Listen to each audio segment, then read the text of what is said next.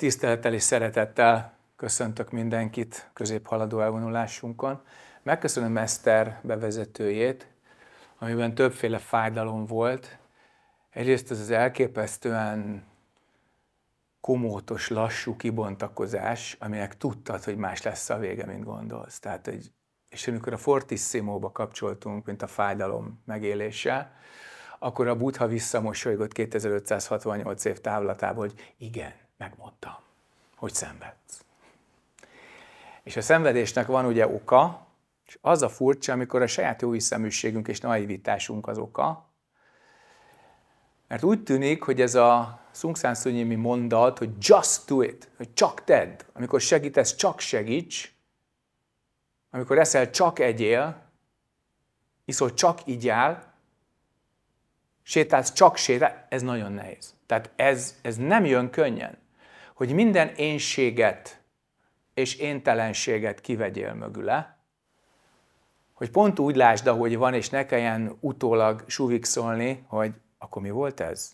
Valójában mi ez, hogy én ki vagyok, hogy hogy működöm? Nézd meg, hogy ez az egyszerű tanítás, hogy miben segíthetek, milyen mélyre tud vezetni a saját labirintusodban, ahonnan nem csak egy fonál vezet ki. Az egyik az együttérzésé, Ariadné, a másik pedig a bölcsességé, kicsit úgy Manjusri beleszól egy fonattal. Úgyhogy a Bodhisattva úton a te járművednek két hajtóműve van. Az egyik a nem dualisztikus bölcsesség, a másik a cselekvő együttérzés. És így középen a törzs az a kiegyensúlyozottság, amivel ezt az egészet tudod a jövőbe vinni a pillanat tudatosságával.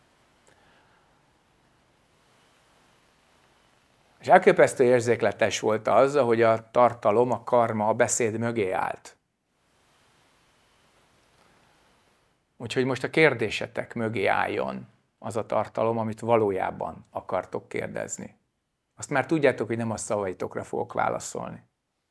Úgyhogy nyugodtan mondd azt, amit tényleg érzel, vagy szeretnél. Kinek van kérdése? Nekem a dacsal kapcsolatban lenne kérdés. Nem válaszolok. Mondjad. Hogy uh, szükséges-e egyáltalán nekem, tehát hogy, hogy megtartsam a dacot, vagy Hány éves nem... vagy? Sok. És ha nem, akkor, akkor hogy tudom elenge? Akkor hogy, hogy Azért sem mondom meg, meg ugye? Tehát úgy tűnik, hogy túl vagy a dac korszakon, de még nem teljesen. Tehát az, amikor dacos vagy, az a nemetmondásnak egy ilyen kicsikét éretlen változata. A dacsal nem az a baj, hogy néha makadságát tud szilárdulni, és akkor nagyon-nagyon bekövesedett, ilyen abszolút nézeteid vannak, hogy mindenre csak azt mondod, hogy nem. Hanem a dacsal az a baj, hogy valójában nem tudod, hogy miért mondasz nemet valakinek, valamire. Úgyhogy a dac az egy, az egy fal. Még nem olyan vastag, mint a makadság, konokság, kemény fejűség vagy kemény szívűség. De abszolút. Mert te beállítod meg, hogy ezt igen, ezt meg nem, sőt, azért sem, még neked sem, és még akkor sem, ha. Úgyhogy ez a büszkeségnek egy kicsit éretlen és negatív formája, mert nem kreatív, nem teremtő és nem kölcsönható. Tehát a dac elfalaz. Meg kell tanulni úgy nemet mondani, hogy közben te együttérző és nyitott maradsz a másikra, és közben mosolyogva azt mondod, hogy nem. Ezt most elpróbáljuk. Mindenki mosolyogjon, hármat számolok, és mondd azt, hogy nem. Egy, kettő, három. Nem. Most valójában mindenki igent mondott. Még egyszer. Egy, kettő, három. Nem. Alakul, alakul, de még mindig azt csinálom, amit én mondok. Tehát harmadjára már nagyon, azt már nem is próbáljuk el.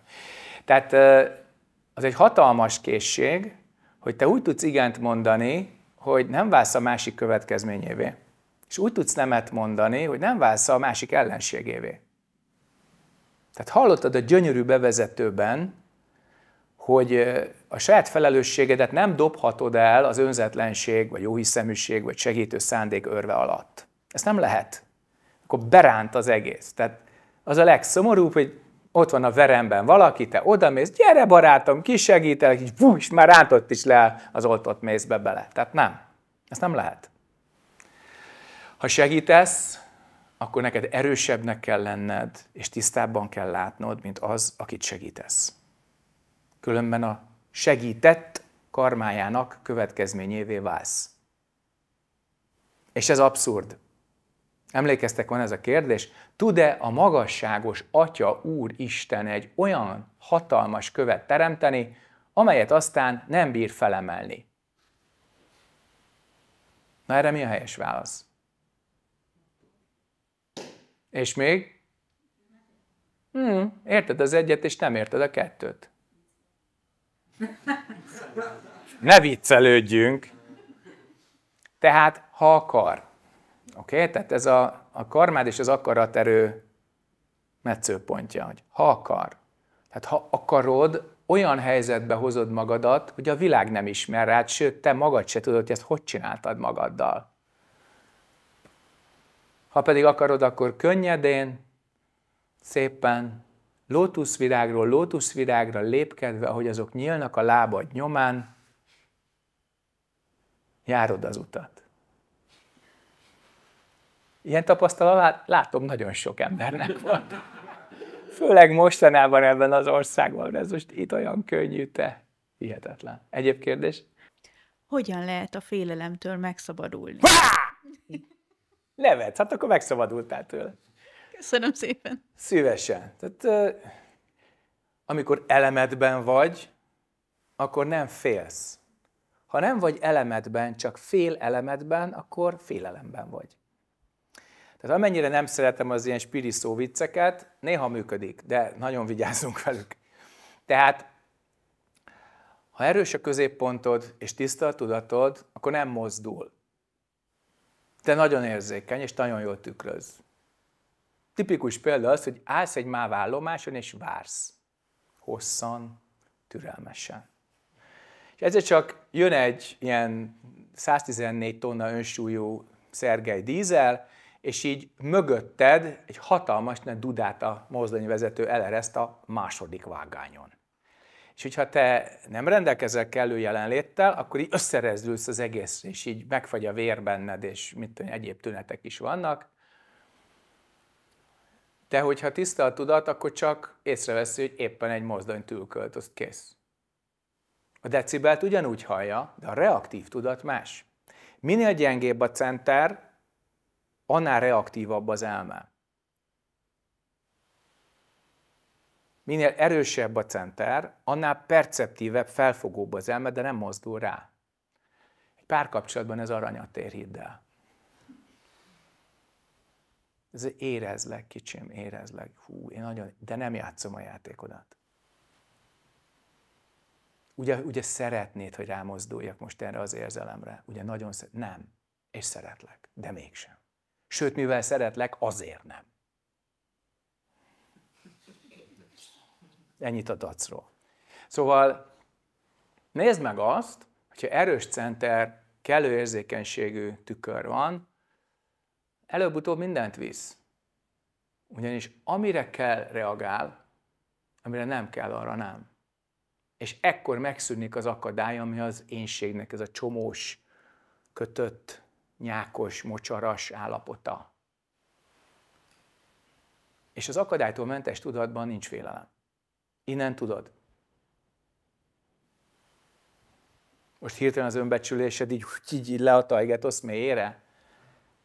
Ezt miért csinálod magaddal? Nem tudom. És hogy a szüleid miért csinálják önmagukkal és egymással, azt tudod? Mert anya ezt megcsinálja. És te lemásolod. Rossz, ha, hamis azonosulás. Igen. Na végre. Tanulj a szüleitől, ha már hozzájuk születtél.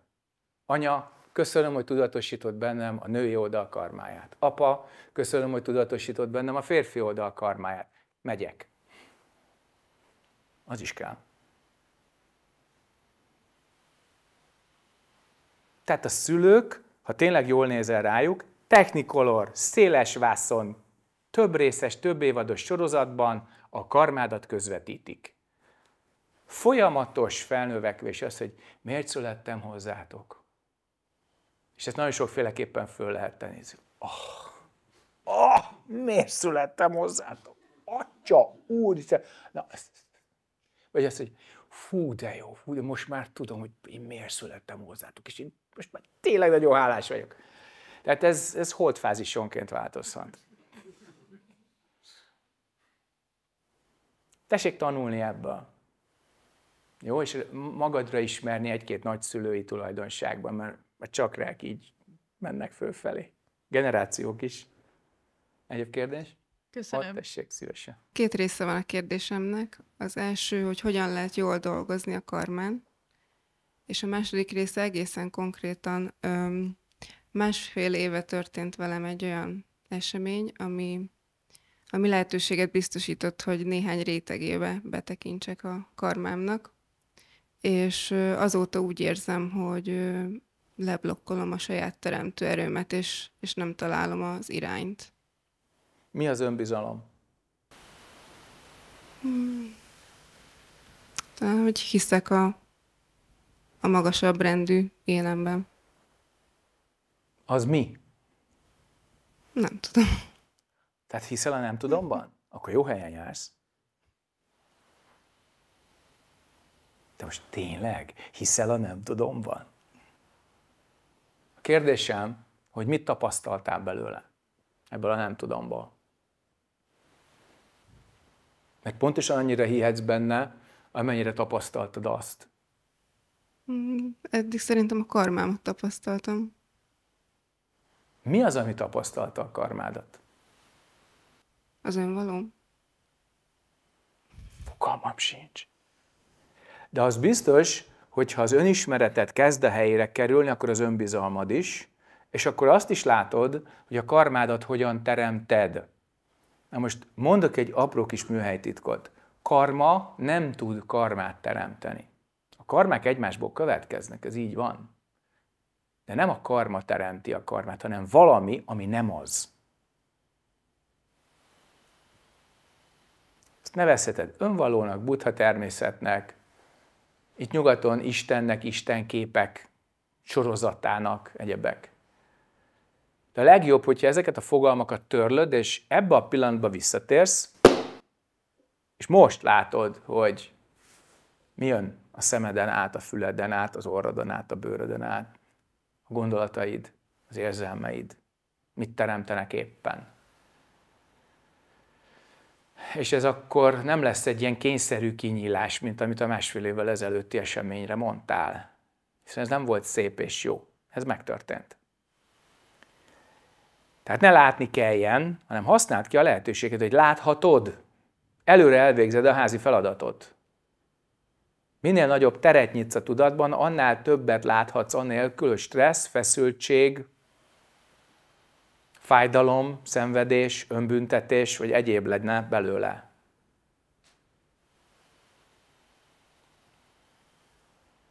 Mi a szabadság? Házi feladat. Egyéb kérdés? Ott, azt hátul. Azzal jöttem ide most, hogy 19 év tanulópénz után ki tudtam mondani a boldogító boldogtalan vagyok a páromnak, és öt hete fizikailag még nem, de egyébként külön vagyunk, és azt szeretném kérdezni tőled, hogy mi a bátorság, mert nem szeretném, hogy ez ilyen egós bátorság legyen. Szeretném elérni nyilván nagyon-nagyon intenzíven próbálok gyakorolni, de kicsit olyan ellentmondásos, hogy én teszek azért, hogy én boldoguljak, boldogabb legyek, és közben családot boldogtalanná tehetek adott esetben, és ezt szeretném elkerülni. És itt a bátorság pontja, hogy megfogd a gyermekeid kezét, a szemükbe nézel, mélyen a lelkedet az ő lelkük elé tárod, és elmondod az egészet. És elviseled a fájdalmukat mert nekik mindenképp fájni fog. De ahhoz, hogy nekik ne fájjon jobban egy rossz együttélés, ahhoz ezt választottad. És ezt lassan, nyugodtan, sietség nélkül, egyéb tennivalók, ágaskodó jelenléte nélkül el kell tudni nekik mondani, hogy édeseim, így döntöttem, a magam és a ti boldogulásotok, jól létetek miatt. És ez eleinte fájdalmas lehet, de később ez oldódni fog, és akkor jöhet az orvosi példa. Az orvosnál nem azért fáj az injekció vagy a kezelés egyéb módja, hogy neked rossz legyen. Úgyhogy ilyenkor az együttérző, de nem metsző őszintesség az nagyon kell, ugyanis a gyerek ilyenkor alapvetően a bizalmát, biztonságérzetét veszíti el. És aztán, ahogy megemészti ezt a tapasztalást, a saját maga nyelvén fogalmazza, hogy meg tud bocsátani, és újra tud bízni. De valójában a szülő képe restaurálódik. Tehát porba omlik az addigi anya és apakép, és azt nektek újra kell építeni. Az apa most már egyedül, meg te is saját magad. És ilyenkor a, a gyerek azon nyomban a maga kis gyermeki, nagyon tévedhetetlen intuíciójával leszkenneli, hogy tudok-e még bízni az anyámban. Tudok-e még bízni az apámban. És hogyha te szerepből beszélsz, vagy megtartasz egy réteget, vagy kíméled őket, akkor azt azon nyomban megérzik, hogy dupla fenekű bőröntből pakol ki az anyám. És nem bízik benned, akármit mondasz. A lelkedet kiteheted, ha visszatartasz valamit, nem fog neked hinni, mert érzi, hogy valamit nem mondasz ki. És hogyha teljesen tisztán, őszintén elmondott, fokozatosan nézve a tűrőképességüket, akkor ezzel a felnövekvésüket segíted, bár ez kényszerűen gyorsabb, mint szeretnéd. És ilyenkor kérheted a bocsánatukat is, hogy édes fiam, édes lányom, bocsássatok meg, hogy hamarabb kell felnőnötök bizonyos igazságokhoz, mint azt én szeretném, de sokkal jobban fájna, hogy ezt eltakarnám előttetek, és később jönnétek rá. Ez személyesen vagy virtuálisan? Csak személyesen. A 7 évesnek is? Annak is. Annak is. És meg kell választani a pillanatot, uh-huh. érzékenységgel, szilárd jelenléttel, együttérzéssel és, és bölcsességgel. Nem Két hete egy olyan esti pillanat már volt, hogy megkértem Pétert, hogy akkor ő most menjen haza a másik otthonunkba, hogy én nyugiba legyek a gyerekekkel, és akkor elmondtam nekik, hogy most azért vagyunk külön, mert már nem megy együtt, de nyugi, ez még nem azt jelenti, hogy itt most hú, majd alakul, tehát hogy már fel vannak készítve. Legyél megszerűen konkrét, a gyerekek elképesztő jó felfogó képességgel rendelkeznek, és ne csapongjon a narratíva. Uh-huh. Ne szabdalt föl a múlt jelen jövő síkját. Uh-huh. Indítsd el, mint egy komoly felnőtt mesét. Aha. És a gyerek tágra nyílt szemmel nem a szavaidat fogja pusztán értékelni és érteni, hanem azt a lelki, mély és teljes sávszélességű kapcsolatot, amit megengedsz magadnak, és így neki is. Hogy De... teljesen kapcsolódhat hozzád, és nem véded magad, és így őt sem, hanem kiméletesen pont úgy adagolod az információt, hogy az egész átmenjen, de olyan falatonként, hogy le tudja nyelni. Jól gondolom, hogy ezt nem egy tervezem a dátumot, hanem ott vagyok a pillanatban, és tudom, hogy most. Igen, és azt tudod, hogy meg fogod tenni. Uh-huh. És egyszer csak eljön a pillanat, kattan, és rájössz, hogy na ez most jött el. Már bízok magamban, nagyon sok ilyen szitu van az életemben, amikor intenzíven gyakorlok. És hidd el, hogy mindannyian jobban fogtok kijönni belőle. A szülői tudattalamba elnyomott karmát a gyermek fogja szomatizálni. Ő fogja betegségben testre levinni, hogyha Azt a szülő nem. nem. Azt már nem. Azt már nem. Elég volt nekem. Ja. Okay. Köszönöm. Szívesen. Hátul? Én a kitartás és a ragaszkodásnak a viszonyáról kérdeznélek. Hol billen át a kitartás mondjuk ragaszkodásba? Hát én most már nem ragaszkodom ez a válaszadáshoz se. Te meg kérdezzék kitartóan.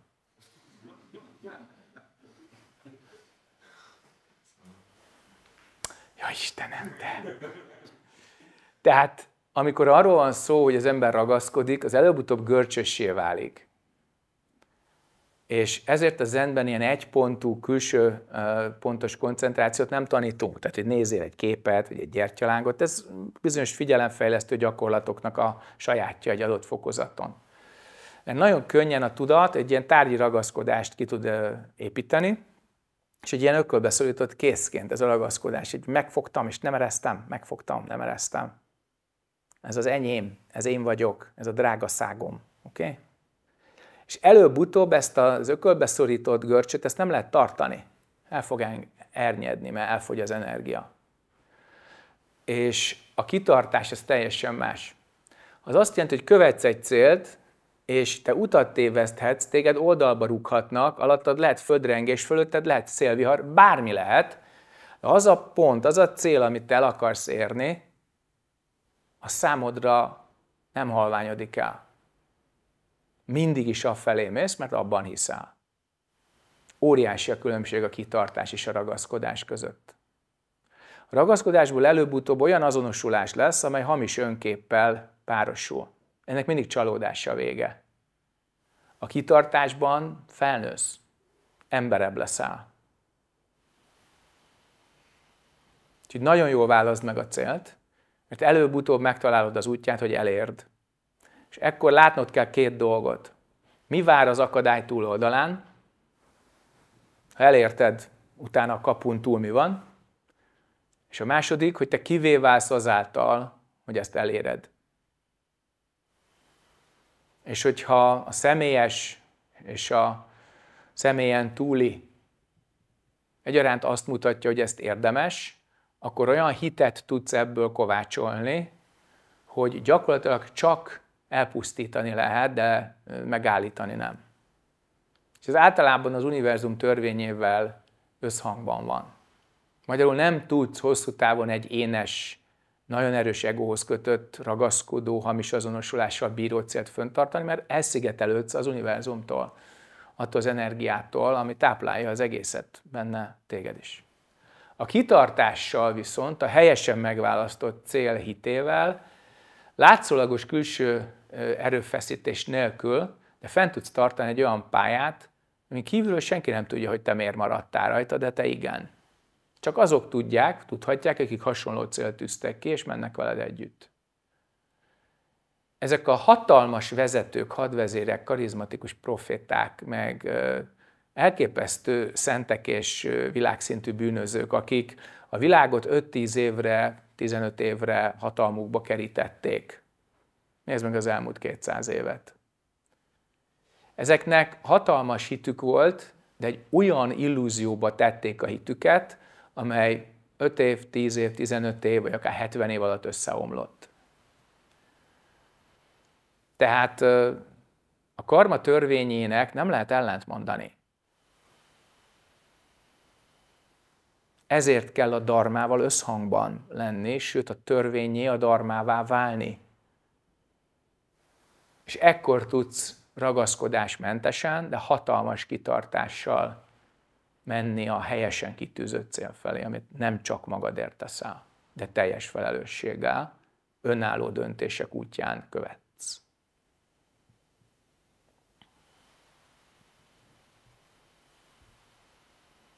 Még lehet ez egy kérdés. Hogyha hangosan teszed föl, és közel tartod a mikrofon. Mert nekem sokszor az a problémám, hogy túl sok minden érdekel, ezért a célt nehezen tudom letisztítani. Akkor nincs cél, akkor csak érdeklődés van. Uh-huh. Olyan akkor nem lehet, hogy túl sok minden érdekel. De lehet. Sőt. Ezt el is hiszem. Ha túl sok minden érdekel, akkor úgy jársz, mint az egyszerű fiatal farmer, aki Montanában vett 3000 földet, és így egyszerűen furta a kutakat egymás után, 20 méteres, 30 méteres, 25, 35, egy darab vizet nem talált, és mellette az őstermelő pedig boldogan öntözött, és egy darab kutya volt. És megkérdezi, Joe bácsi, most költöztem ide, furom a kutakat, csepp nincs, maga meg itten dúskál a H2-ban. Hogy van ez? Hát, azt mondja, ide figyeljen, fiam, én egy kutat furtam, de az száz méteres. Előbb-utóbb kirostálódik az, hogy tényleg mit akarsz de ha nem, akkor az ember visszanézve nem azt mondja, hogy érdeklődtem, tanultam, döntöttem, hanem hogy erre és erre elfecséreltem az időt. Tehát a kettő közt az a különbség, hogy tanultam ezekből az érdeklődésekből, magamat és a világot jobban megismertem, és ez segített letisztázni azt a célt, amelyen már nem változtatok. Vagy azt az avatárt, amit építek, tisztítok, művelek, és már nem akarok egy újabb szerepet fölvenni. Nem akarok egy újabb köpönyeget megfordítani. Tehát ez belül és kívül egy hasonló folyamat. Jó? Szívesen. Egyéb kérdés? Említetted párszor, hogy nem csak a múltra emlékezünk, hanem a jövőre is. Mit Mhm. jelent ez? Hát a tárház tudatunk, akármennyire is furcsának tűnik, nem rendelkezik határozott idődimenzióval. Ezt a hetedik és a hatodik alakítja ki. Tehát a nyolcadik, a tárház tudat, az csak az emlékeknek, illetve az egymásból következő tényeknek a tárháza. Szanszkritul van egy olyan fogalom, hogy prarabda karma, mindenképpen megjelenő gyümölcs, amit nem tudsz elkerülni. Például mindenkinek, aki erre az elvonulásra jött, a prarabda karmája az, hogy jelentkezett, megjelent, és vasárnap hazamegy. Mert így döntött. Mindenképpen kijön az a jelenlétedben, hogy az összes többi korábbi döntése téged idehozott.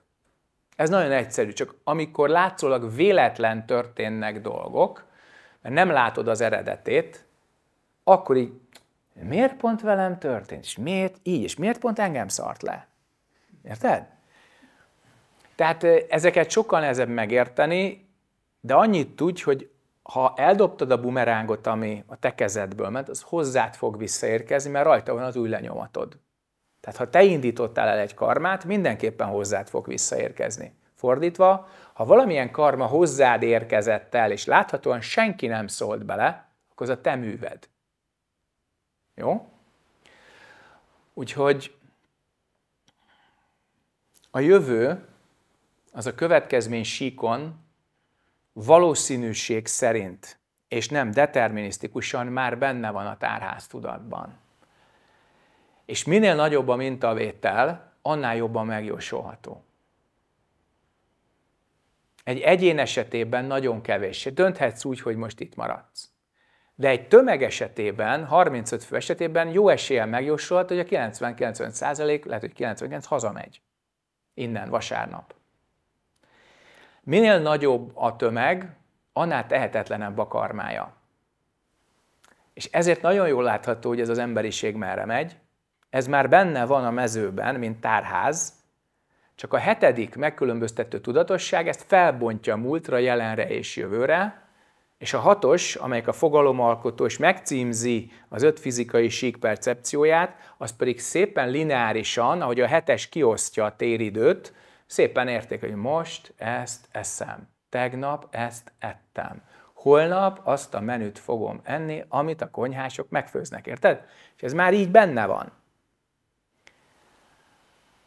A legfontosabb tanulság a felső három mentális működéséből, legyen ez a fogalomalkotó hatos, megkülönböztető énalkotó hetes, ez a minőségteremtés és az ítéletalkotás szintje is, ez a dualitás motor hetes. És a nyolcas, mint tárháztudat, hogy mindegyiknek a tartalma és működése relatív. Nem abszolút. Tehát ha itt most mindenki azt mondja, hogy marad hétfőig, akkor ez az egész karma, amiről én beszéltem, hogy te abban egyeztél meg így Eszterrel a jelentkezésen keresztül, hogy az őstiszteleti szertartás után ugye mész, egyszer csak egy konszenzussal állunk szemben, hogy mindenki rezidens szeretne lenni, és elkezdik a 30 napos próbaidat, és vakarjuk a fejünket, hogy hol fogtok aludni. Hát a jurtákban. Tehát, de ehhez egy olyan tudatváltozás kell, ami nagyon-nagyon valószínűtlen, mert a ti helyzetetek, a ti kapcsolati karmátok, a családi munka és egyéb kötelezettségeitek ezt megjósolhatóvá teszik, hogy ti innen menni fogtok a hétvégén. Az emberiség ugyanez. Tehát nagyon-nagyon jól lehet látni, hogy például a magyar csoportkarma milyen. Milyen erővonalak mentén változik. Mi kell ahhoz, hogy a kritikus tömeg átforduljon egyik minőségből a másikba. Tehát ezt a relativitást szemügyre venni, ez egy nagyon nagy tanulmány. És hogyha valamit nem tudsz fölülírni, az bekövetkezik.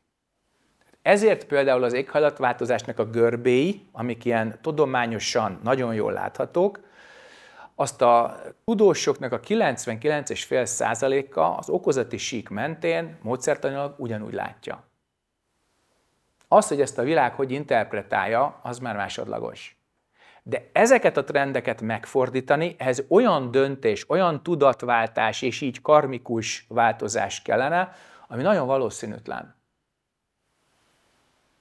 Tehát a tárháztudatban benne van a jövő is, csak a hetedik, az én alkotó, a téridő teremtő, az én élményt adó, az a linearitással és a ciklikussággal ezt adagolja. Értjük? Tehát egyszerre nem láthatod. És az érzékszervi sík pedig szűri, szépen csatornázza. Mert a szemeden kívül nem láthatsz mással. A füleden kívül nem hallhatsz mással. A bőrödnél nagyobb vagy kisebb érzőfelületed nincs, tehát ezek a határaink. Ez az, ami teremti az én élményt, a világélményt. És ezért van az, hogy az elme nem tudja az időt másképp elképzelni ebben a kontinuumban, mint lineáris és ciklikus folyamatok összessége. Ez, hogy a pillanatból keletkezik az egész, ez már egy teljesen transzcendens tapasztalás. Tehát az, amit a hatodik pártjárka mondta, hogy eredetileg semmi sincs. Ha ezt te kiviszed az utcára, egy ilyen nihilista őrültnek gondolnak. Ha pedig meditálsz és főleg zent, akkor előbb-utóbb rájössz, hogy ez egy alapigasság. Párhuzamosan azzal, amit az Avatamszaka útra tanít, hogyha meg akarod érteni a világegyetem természetét, akkor tapasztald úgy, mint amit egyedül a tudat teremt. Ennek a fonákján van, mint paralel igazság, hogy eredetileg semmi sincs. Jó, ezt az összefüggést tessék nyugodtan a kebletekre ölelni. Nagyon sokban fog segíteni. Például, hogy az összes karmádnak a teremtettségét meglátod, hogy minden, amit tapasztalsz, az relatív. A teremtő maga nem tapasztalható, az az egyetlen egy abszolút. Érted? Úgyhogy azért nem tapasztaljuk a jövőt, mert ha ránk omlana, úgy, ahogy van, szimultán a múlt, jelen és jövő karmája ebben a pillanatban, nem sok maradna belőlünk. Meg az egész színházból itt. Ezért van adagolva. Oké? Okay?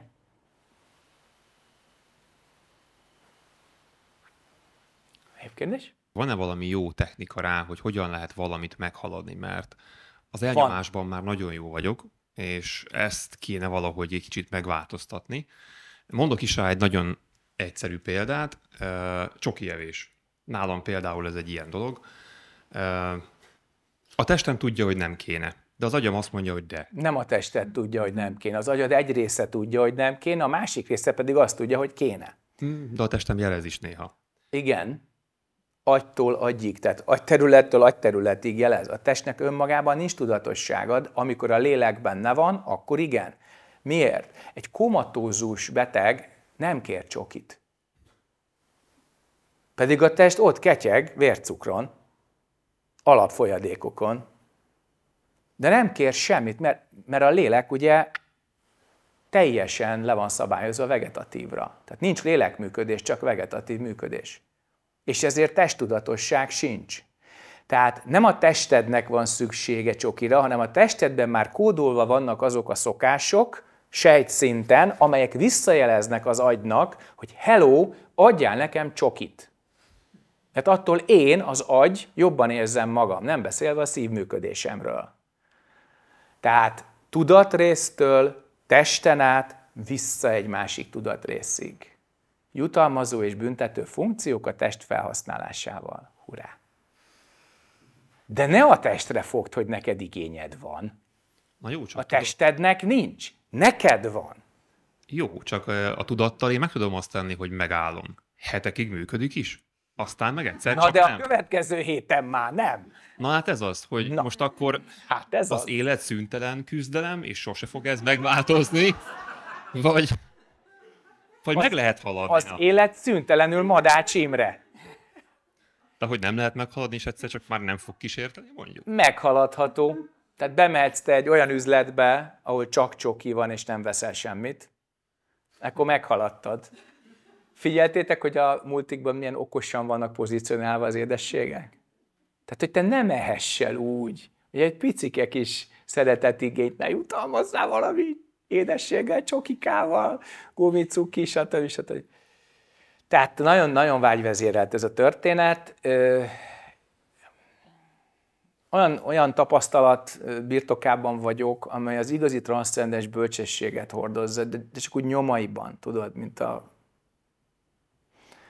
az édesség, ami kakaóval picit kiválhat rajta, de az élvezeti értékét nem befolyásolja. Ha csoki teszel, miért eszed?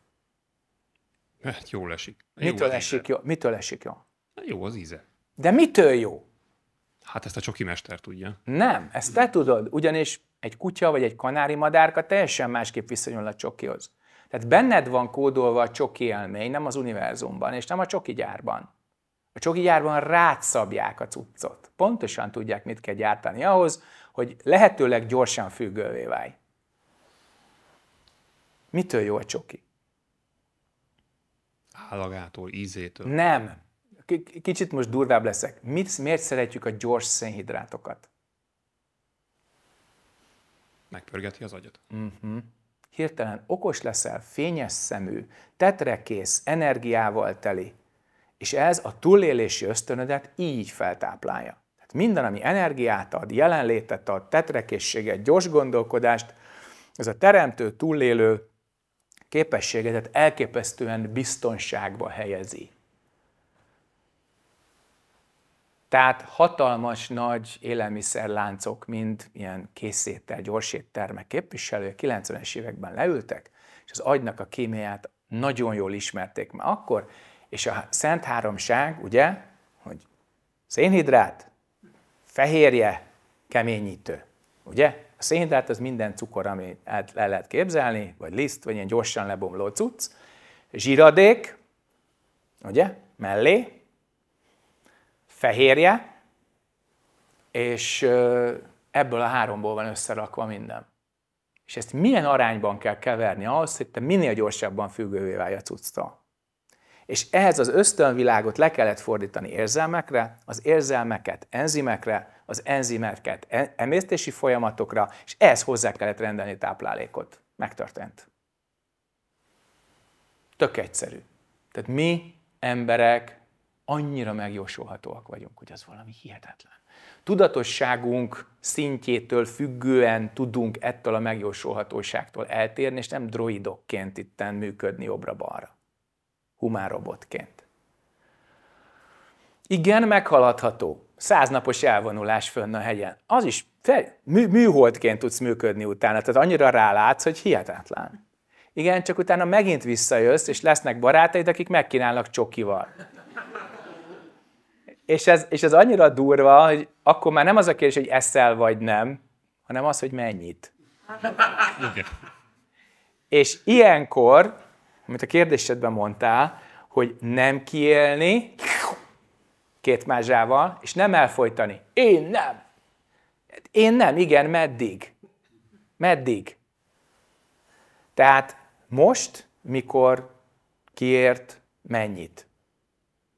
Tehát ezek, ezek nagyon húsba vágó dolgok, mert az élet itt, ebben a testhez kötött világban, tehát a lélek és a test együtt koril jung seng, az érzékszervhez kötött lény.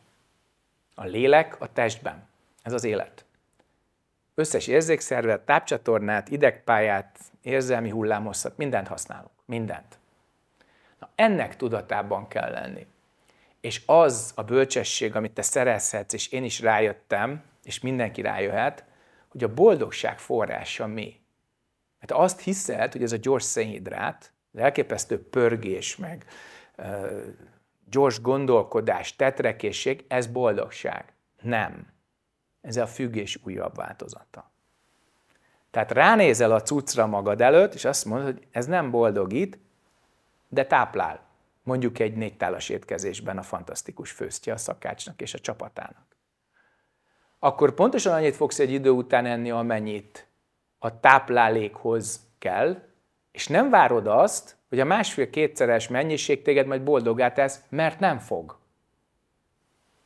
Tehát a csokinak az az érzete, ami, ezt az érzetet szeretem, de tudom, hogy nem tesz boldoggá. Itt az elme fogja eldönteni. És nyugodtan programozd be magad, hogy igen, ennyit megengedek magamnak.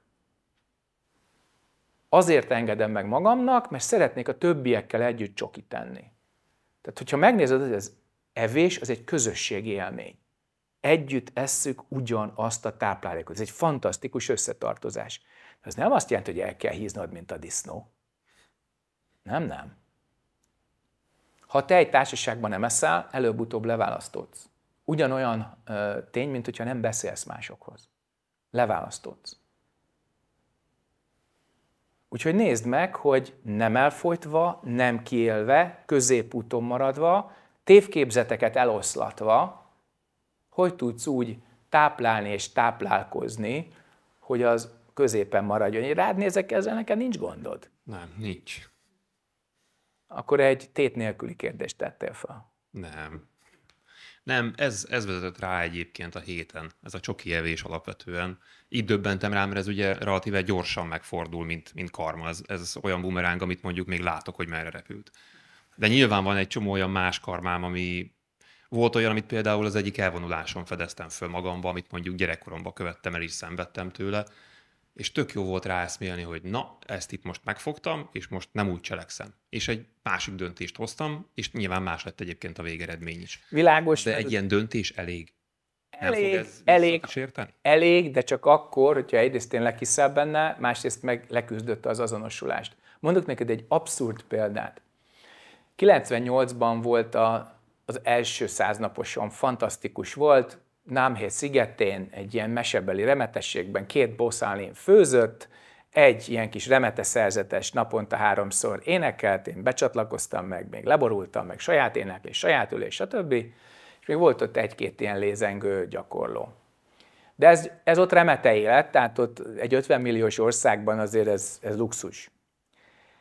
És gyönyörű régi evőeszközeik és fa tárjaik és egyebek voltak, és ilyen abszurd módon nem tudod, hogy ez honnan jön a fejedbe, ugye az elvonulás vége felé egy ilyen, egy ilyen a nagyszüleim étkészletéhez hasonló kis kiskanára azt mondta, hogy hú, de szép, ezt lehet, hogy a végén elviszem magam. Úgyse fogják észrevenni. És azon nyomban az elmének egy kicsit magasabb rendű funkciója, hogy mű? Ha nehogy már, hát ez olyan vikarma, meg fogadalom, ez jött, jött a cucc, tehát világos, hogy fölül volt írva, és természetes, hogy nem vittem azt a nyomorult ezüst kanalat, ott maradt, de még most is emlékszem rá, hogy hogy nézett ki. És az a vicc, hogy utána akárhányszor nagyobb templomba mentem, mindig megnéztem az étkészletet, hogy ott mi van. És tudtam, hogy akármilyen szimpi lesz, ott fogom hagyni. De beépült a rutin. Mert hirtelen a vágy rávetült, lenyomtam, megmagyaráztam, tartózkodtam tőle, jutalmaztam magam, hogy milyen jó, és indult a következő ciklus. Szóval három év volt körülbelül, és, és, és után három évig minden templomban észrevettem, hogy milyen eszcáig van. És így az ember így lehida, hogy hogy lehet így? Hát ez, tehát ilyen hülyék vagyunk, mert azért hidd el, hogyha nagyon mélyre nem is kell kotornod magadban, és fölfedezze hasonlókat. Döbbenet a történet. Tehát ezért kell elmével nagyon szépen fölépíteni az énednek azt a részét, akkor azt mondod, hogy igen, csokika, megeszlek, de tudom, hogy nem te vagy a boldogság. Az ízedért kell lesz. Kész. És akkor hamarabb vége. Jó? És a másik gyönyörűség pedig az, hogy, hogy tudod, mint kinek adhatnám tovább. Tehát, mert hogyha megkapod, és, és tényleg elég volt, akkor add tovább. Szenvedjen más is. Szenvedjen más is. Nagyon. Tanuljon ő is.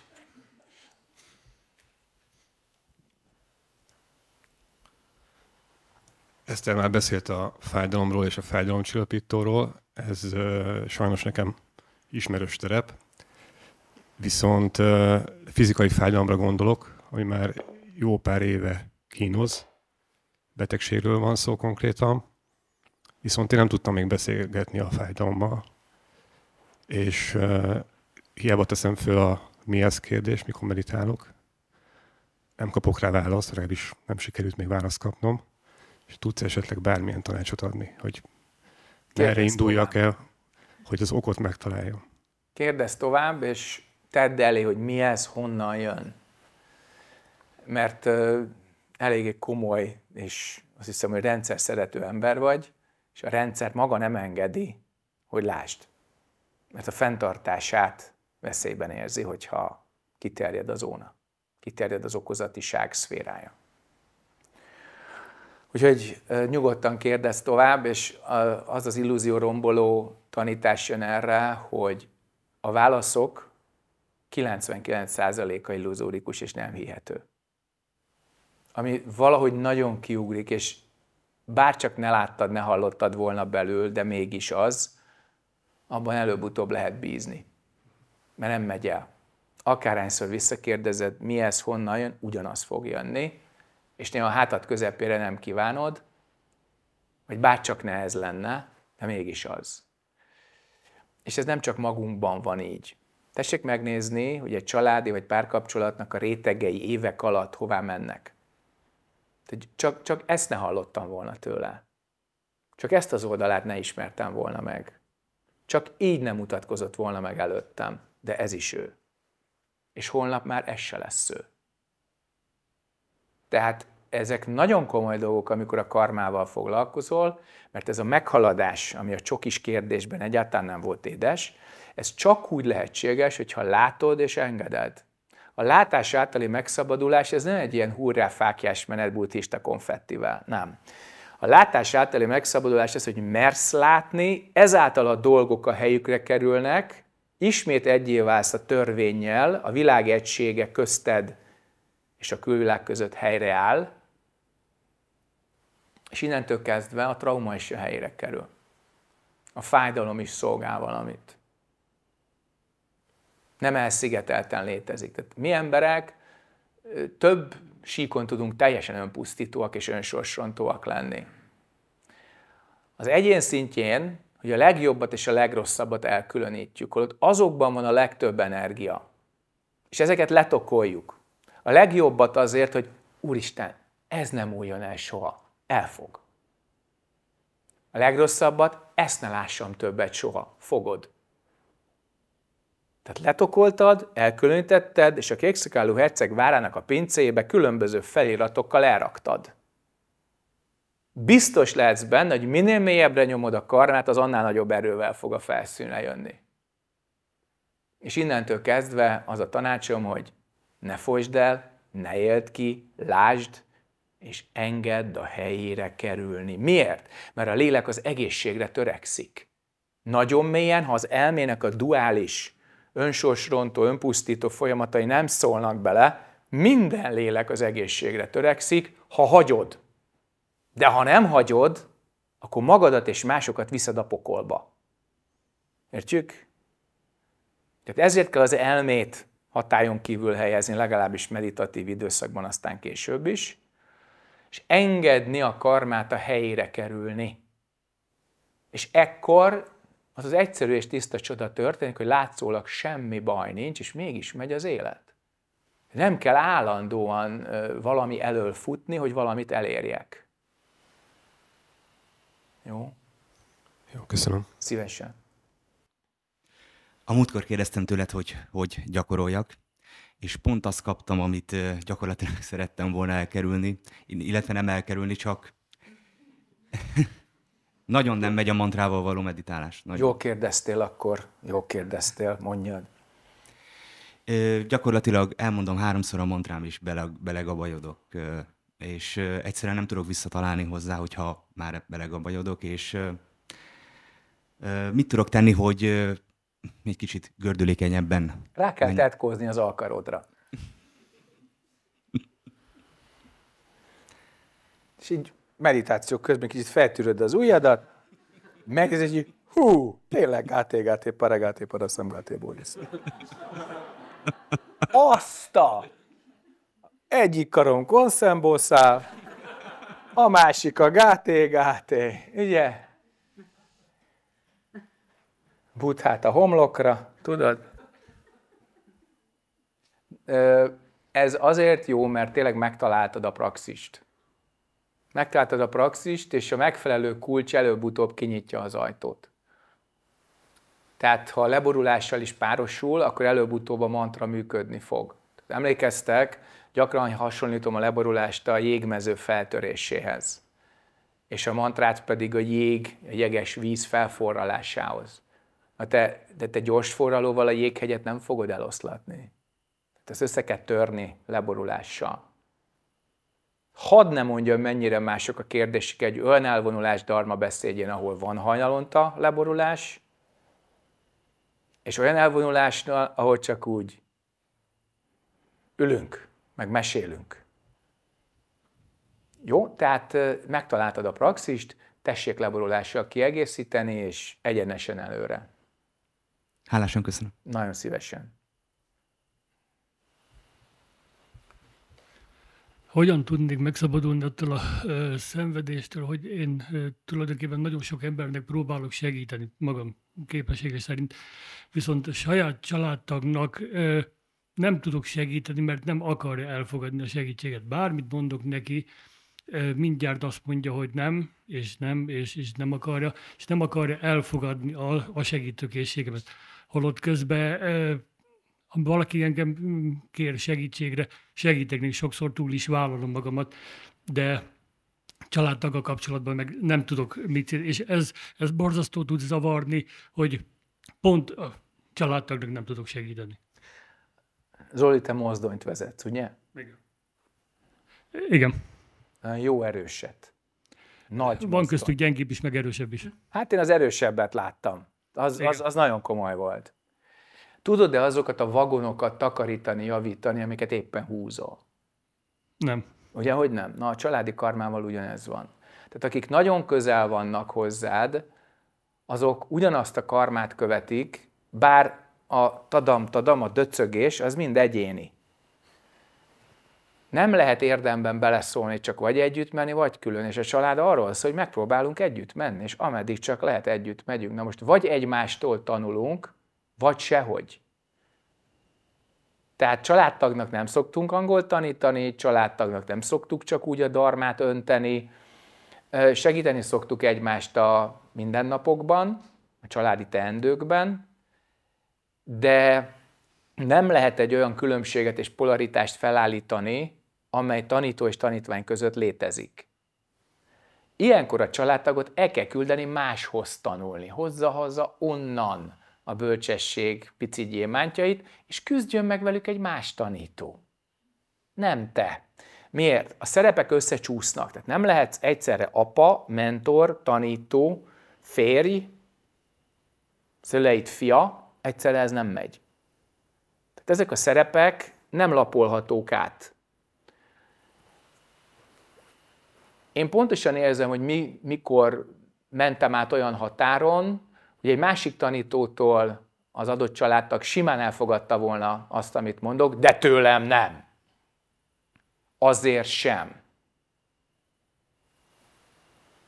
Úgyhogy ezzel, hogy a vérszerinti kötöttségben a közelségből lehet tanulni, egymás karmájából lehet tanulni, a tanító-tanítvány viszonyban pedig egy bizonyos távolságból a darmát, a törvényt lehet tanulni, mert egymás karmáját nem úgy éljük meg, mint hogyha a családtagom lenne. Lehet egy nagyon jó csoport, ahol közel vagyunk egymáshoz, bízunk egymásban, de akkor sem vérségi a kötelék, és nincs meg benne az az elképesztő egymásra utaltság, a különböző szintű, azt mondom, olyan közösségvállalás, amely nem engedi meg azt a távolságot, amiből a másik taníthatóvá válik. Tehát az egy nagyon haladott családmodell kell, és így részint a tanítás szükségessége is már lecsökken, hogy olyan tudatszintű emberek legyenek együtt, hogy egyszerre van vérségi kötelék és tanítható. Tehát ez vagy kölcsönös, egymástól tanulunk, és nincsenek nagy szintbeli különbségek, vagy nem megy. Tehát ezért kell elküldeni egy olyan helyre, olyan viszonyba, ahol ő tanítvány lehet. mert neked csak családtag, ezt el kell tudni viselni.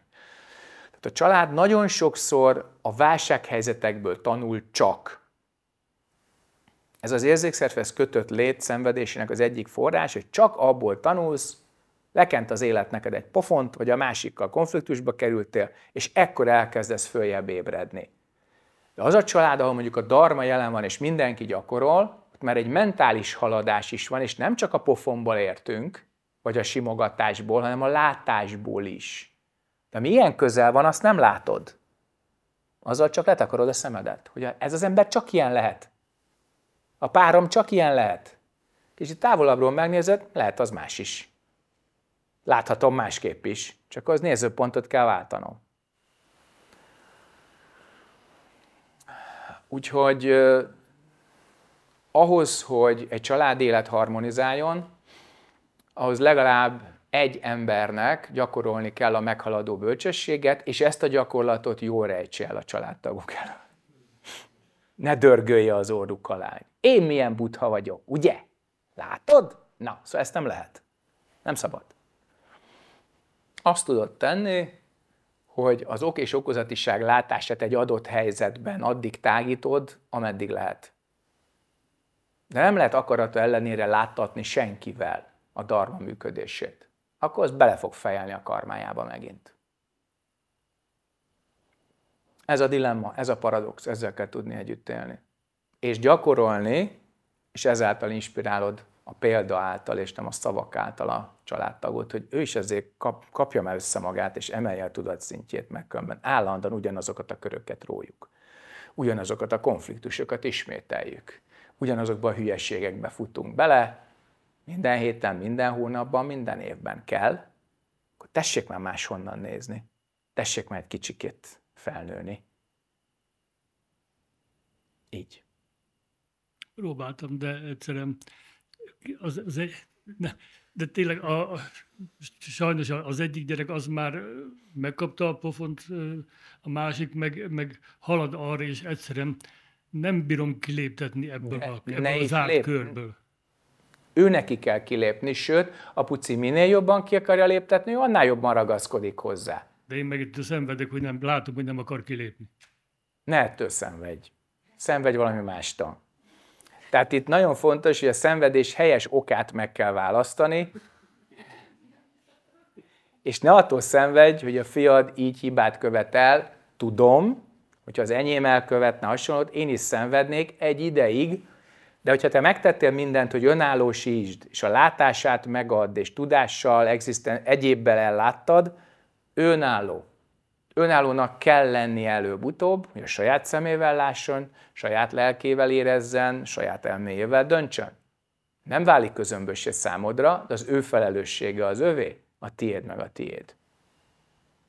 Ezt el kell tudni viselni vérségi kapcsolatban. Különben te mész át gyerekbe. Te kezdesz el a fiattól függeni. És ezt nem lehet. Jó? ott. Említetted, hogy a, a családi mintáinkra így ö, tekinthetünk hálával a, a szüleinknek, hogy, ö, hogy, ö, hogy azt a karmát kapjuk tőlük, amit, és hogyha, hogyha egy kifejezetten rossz gyerekkort kaptunk, és, és egy traumatikus múltat, akkor ö, erre hogy lehet, ö, erre, erre hogy, hogy érdemes tekinteni? Mennyire lehet vagy erőszakos?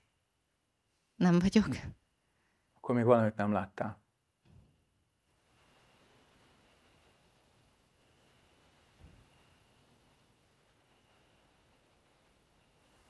Miért születtél a szüleidhez? Nem tudom. Szépen belül kérdezgesd magadat heteken át. És akkor egyszer csak feltárul a léleknek az a könnyek mögé rejtett kicsi odúja, ahol az a karma rejtőzik, ami nagyon szorosan összetartozik a szüleidével. Az évek, néha évtizedek. Ha jól csinálod, akkor csak évek.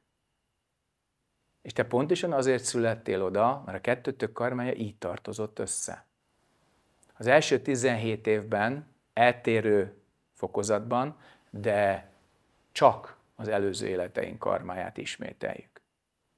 A legnagyobb ismétlés a születés.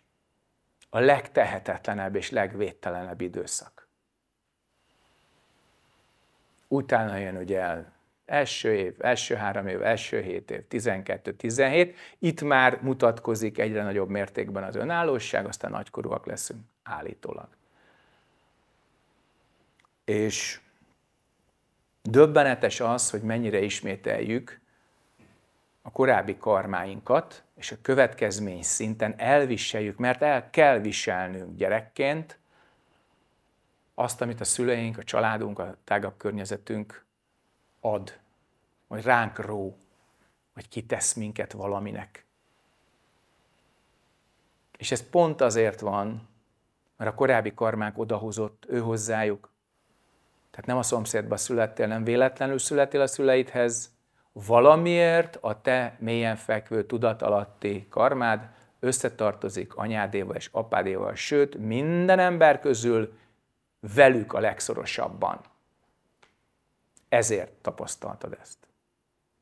Nézd meg azt, hogy mi az, ami tényleg összehozott titeket. Ekkor tudod meghálálni azt a sok jót, amit kaptál, mind a mellett, hogy szenvedtél is, és meg tudod hálálni azt, hogy ráébresztettek téged önmagadra, amennyire tudtak. És itt van egy komoly egyenlet, hogy amennyire ők magukat meglátták, és amilyen szintre ők felébredtek, addig esetleg, ha hagytad, elvihettek téged is. Tovább nem. És csak addig. Aztán a továbblépést ezért is szoktuk a családon kívül is keresni. De magadban keresd az okát, hogy ez pontosan miért így történt. Ha megláttad, tudatosítottad, feloldottad, akkor nem fog ismétlődni. Mert ha ezt nem teszed meg, akkor a gyerekeiden fogod tapasztalni ugyanezt. Nagyon gyakran elfelejtjük, hogy gyerekként mit tapasztaltunk, és közben szülőként ugyanazt megcsináljuk a gyerekeinkkel, mint amit a szüleink velünk. Ezt hívják áthárított transgenerációs karmának. Oké? Okay? Úgyhogy munka van. Utolsó két kérdés. Ott? A meghaladás talán valami olyasmi lehet, hogy én döntöm el többnyire, mikor, mit, miért cselekszem, hogy a meghaladás már az, amikor nem is foglalkozom ezzel, csak benne vagyok egy pillanatban. Egyik sem. Tessék többet énekelni a szívszútrát. Ez nyers gondolkodás. Kuka több gyakorlat, sok-sok nem tudom, akkor majd kiderül, hogy mi a meghaladás. Egyéb kérdés? Van egy anyuka, ismerősöm, nagyon közeli, már-már barátnő, nem családtag, kidiagnosztizáltak nála egy tumort a mellébe, és az Ádámék elmondták, hogy hogyan tudok gyakorolni érte, és most a biopszia kizárta a rossz indulatúságot, és lesz vele tali, kávézunk, és szeretném helyesen tanítani. Tudsz valamit javasolni? Koffeinmentes kávét először, hát ilyenkor nem izé, paraszimpatikus idegrendszert nem cincáljuk itt jobbra-balra. Tehát ez az első.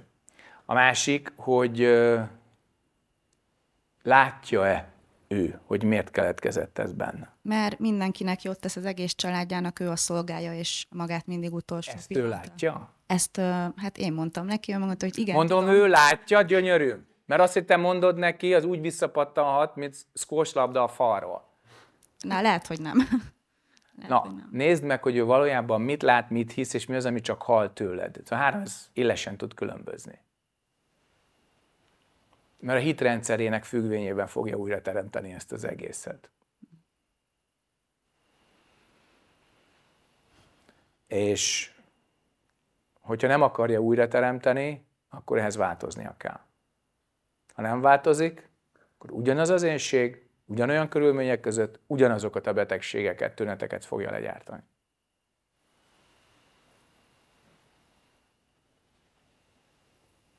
Nos, Kiben van még esetleg bármilyen kérdés? Itt, elő.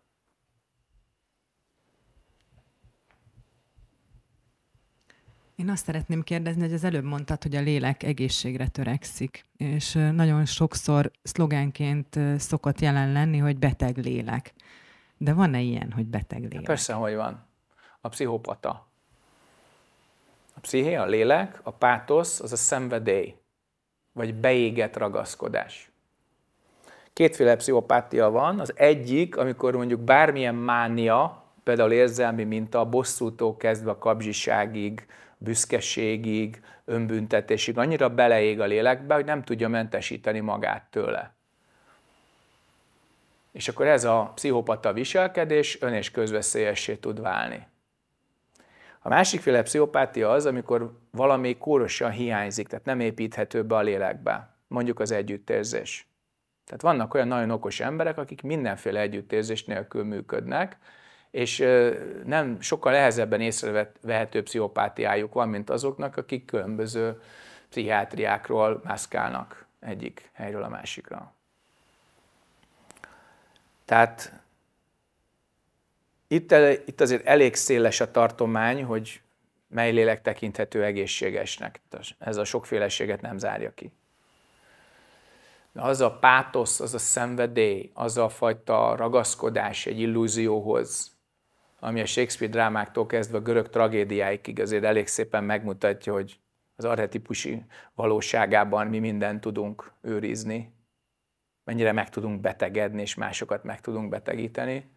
Erről a zen, illetve a mahajána az öt vágy, vagy az öt szennyeződés formájában beszél. Az alvás, az evés, a szex, a pénz és a hatalom vagy hírnév. Ez az ötféle. Na most az az érdekes, hogy ezek, hogyha megnézed, hatalmas motivátorok és erőforrások tudnak lenni akkor, hogyha középúton vannak. Nem túl sok figyelem, és nem is kevés. És a másik négyet nyugodtan vett hozzá. De az, hogy ezt a középúton tudjuk művelni, ahhoz például a hamis azonosulásainkat, tehát a pátiát a pszichéből ki kell venni. És akkor tudod ezeket az energiaforrásokat a megfelelő helyen kezelni. Tehát nagyon sok magyar buddhista megpróbálta, hogy élelem és pénz nélkül egy tanyán elkezd valamit gyakorolni, amit ő kitalált, és hogy ő ettől meg fog világosodni, és hirtelen az egész világ a tusita mennyországá fog változni. Na, két-három év után ilyen nagyon érdekes tudatállapotban jöttek ők elő ezekről a tanyákról, és nem az sikerült, amit szerettek volna. Tehát egy olyan ragaszkodás vagy tévképzet élt bennük, ami hát azért elvitt sok embert a határig néhányat azon túl is. Tehát itt a túl sok, vagy a túl kevés. Ugye a lélekből hiányzik valami eszenciális alkotóelem, vagy túl sok valami, ami beárnyékolja az egészet, és egyfajta démonként leuralja a rész az egészet. A daimon, tudod micsoda? Nem. Segítő kicsi Isten. Tehát a kicsi Isten, amely segíti a nagyot, ez a daimon. A tudatnak a démonja, ugye, démon, az azt jelenti, hogy egy karma, amelyik a része az egésznek, kisajátítja az egészet, és az egész energiáját a részbe összpontosítja önző módon csak a saját céljaira, és ezért az egész összeomlik, és amikor az egész, a psziché egészsége összeomlik, akkor ő is. Fizikai szinten ez a rák. Lelki szinten ez a démonikus viselkedés. Tehát ez gondolom válasz a kérdésedre. Igen, köszönöm szépen. Nos, kiben van még? Én a holnapi szertartásról kérdeznék, hogy az ősi szerti szertartás az élő ősöknek is? Ha él, akkor nem az ősöd, akkor szülőd, vagy a nagyszülőd. Az ős az, aki fönn van már. Az ős. Az egész vonal, úgy, ahogy van. Tehát koreaiul ez a csondóje, a menny útjának a megtisztítása és ez a tiéd, meg az őseidé. Tehát, hogyha az ősökkel nincs jó viszonyod, akkor vastvillával kergetnek, vagy sziklaként állják az utadat. Hogyha az ősökkel rendezed a viszonyt, akkor mind mögötted állnak, mint a hadoszlop, és segítenek. Ők, a, ők az utánpótlás a múltból. El nem tudom mondani, hogy milyen karmikus rendeződések történtek az első után mindenkiben, aki részt vett rajta. Elképesztő. A másodiknál már csak ilyen kis helyezkedés, aprócska kis igazítás, de én egyet ki nem hagynék. Tehát ez évente kettő van, tehát nem nagyon túlozzuk el. Miért? Mert ezt lehet szertartásosan rendezni, és van ám svungja rendesen. De a benned elvégzett munkát ezt nem pótolja. Viszont nagyon jól mutatja, hogy hol vannak az irányok, melyik a helyes döntés ahhoz, hogy mondjuk a generációk benned a tudattalanodban szépen rendeződjenek. Tehát így a hirtelen a szertartásból egy mondat így kiugrik, hogy felszámoljuk magunk, mint áldozat bármilyen illúzióját. Tehát nehogy azt hidd, hogy te azért vagy ilyen, mert a szüleid, a nagyszüleid és az őseid olyanok voltak, amilyenek. Ugye? A saját egyéni karmád vitt a teljes ősiség vonalba, most ezt megfordítom, mivel felismertem ezt, ezért az egész ősiség vonalnak segítek, hálás vagyok, és leborulok az áldozatuk előtt. Nem én vagyok az áldozat. Ők tettek meg mindent, hogy én életben legyek, és íme sikerült, életben vagyok. Ha ezt a fordulatot megcsinálod, megnyílik az út. Megtisztul a menny. Oké? Okay? Köszönöm. Ez akkor is tisztul, hogyha fogalmam sincs, hogy ki volt nagyanyám, nagyapám, dédapám. Akkor is. Akár Ott van a tudattalandó, nem kell a sírkőhöz visszamenni. Semmit nem kell tudni róla. Tehát Jó, ha is... tudod, olyan érdekes, amikor egy családfakutatásnak kijönnek az eredménye, és így ránézel, van valami hatodik generációra visszamenő 18. század, Virág Sámol, egy elolvastam a nevét, és így libabőrös lettem. Tehát Samu bácsi valami elképesztő dolgot csinálhatott, hogy a tudattalanomban egy ilyen helyet foglalt el. És az a vicc, hogyha felírod azt, hogy anyám ősiség vonala, apám ősiség vonala, oda felírod, ez név nélkül aktiválódik a tudattalamban. Miért? Mert oda helyezted a fókuszt. Mindegy, hogy tudod-e a nevüket vagy sem. Minél többnek tudod, annál jobb, mert annál pontosabb a GPS. De az akkor is oda megy. Jó? Szuper. Köszönöm Helyes. szépen. Hát akkor gyakoroljunk szépen tovább, hogy a mögöttünk lévő, az előttünk lévő és a jelenlévő generáció útját egyaránt megtisztítsuk. Köszönöm, hogy együtt tesszük ezt.